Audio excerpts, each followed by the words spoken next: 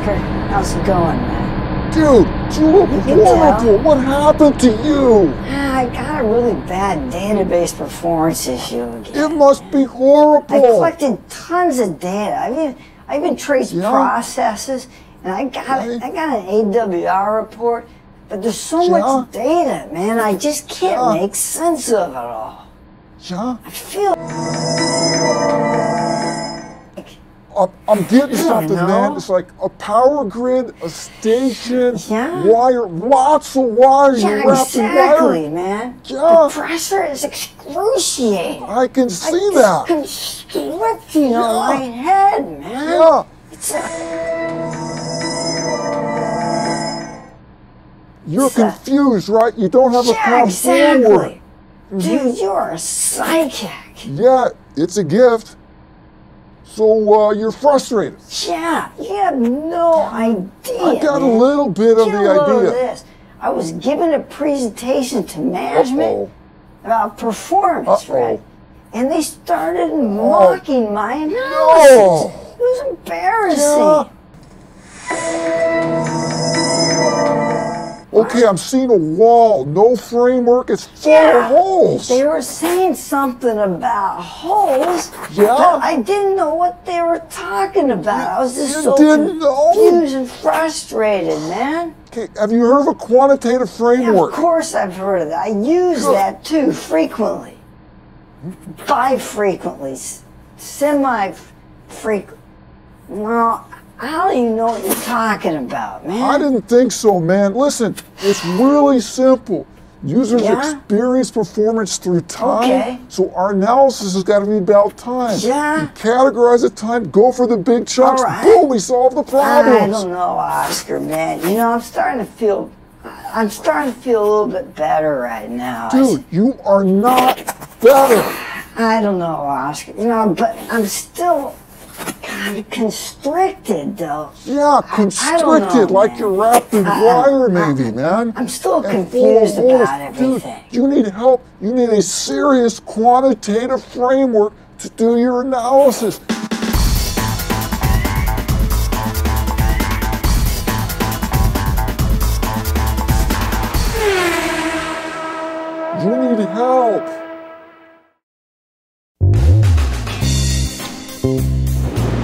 I hope you enjoyed the video.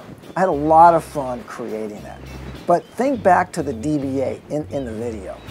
Now, his problem was he was so confused that he just got crazy frustrated. And the problem was not for the lack of data. I mean, he had lots of data. He had an AWR report. So the problem was is that he did not know what to do with all the data that he had. He didn't know what to do with all that raw performance data. He couldn't identify the problems, he couldn't derive solutions, and he was unable to communicate the situation to others. So, I mean, of course, he's going to be really frustrated and have a lot of confusion surrounding him. He needs a framework, he needs a path to move forward. And it's got to work in any performance situation. Even if it's a single SQL statement, a session, a batch process, a RAC node, an entire cluster, it just needs to work. So how does this seminar relate to all of this? Well, the value of this seminar is I'm going to teach you how to use an AWR or a Statspack report to tune your Oracle system. Given an AWR or a Statspack report or just some raw performance data, okay, I will teach you how to systematically come up with solutions that will have the most impact on your system. Now, what this means is you'll be able to stop the guessing. That's going to give you clarity, which means you're going to have confidence. Now, before I get into the details of the seminar, I need to introduce myself. My name is Craig Shallahamer, and I'm a longtime Oracle DBA who specializes in Oracle performance. I'm also an Oracle ACE Director.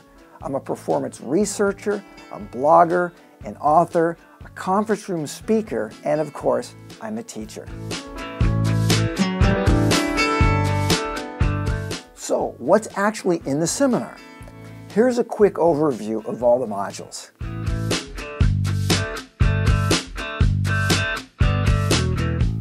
performance analysis is a massive and broad scope. So the objective of the first module is to help you to understand where an Oracle time-based analysis fits into this entire process. To accomplish this, I'm going to broaden the scope beyond an Oracle time-based analysis and an AWR report. And I'm going to bring you through a few scenarios. And by doing this, you're going to understand exactly where an Oracle time-based analysis fits in to the entire picture. In the next module, I'm going to introduce a quantitative time-based analysis technique that was developed specifically for Oracle systems, and this is called an Oracle time-based analysis. Our users, they experience performance through time. So if our diagnostic and troubleshooting methodology is based on time, then we should be able to create a quantitative link between our users, what they're experiencing, and our analysis. I'm going to show you how to do this using a standard AWR or StatsPack report. It's amazing and it will revolutionize your troubleshooting effectiveness. Next, I'm going to introduce time classification, but we're going to start with just CPU time and non-idle wait time. Now to do this, we're going to look at the flow of a single session because once we understand what's going on at the session level, when we roll things up into our broader analysis, everything's going to make sense. Then I'm going to show you how to take the numerics to create charts. And we're going to use these charts so we can visualize our analysis path drill down. It's super powerful. In the next two modules, I'm going to take you on a journey through Oracle CPU consumption and wait time. Now, why am I doing this? Because we need to understand how Oracle gets the raw data. Otherwise, we're not going to have confidence in the underlying views that we use to create our Oracle time-based analysis. For both CPU and wait time, I'm going to operating system trace some Oracle processes. This is amazing because we're going to be able to see how Oracle gets the raw data that we actually see through the VDollar views. It's amazing and something that you'll never forget. Specifically related to wait time, I'm going to show you how Oracle processes determine their wait time. Now specifically, there are three broad areas that processes find themselves in. For example, sometimes a process will know its wait time, and sometimes the process doesn't know and it's going to have to figure it out. So we're going to detail each of these. At this point in the seminar, I'm going to introduce database time, elapsed time, and wall time. Now to do this, I'm going to run some experiments and I'm going to include parallel query. When I do this, it really clarifies the situation and you'll be able to see the differences between all three of these.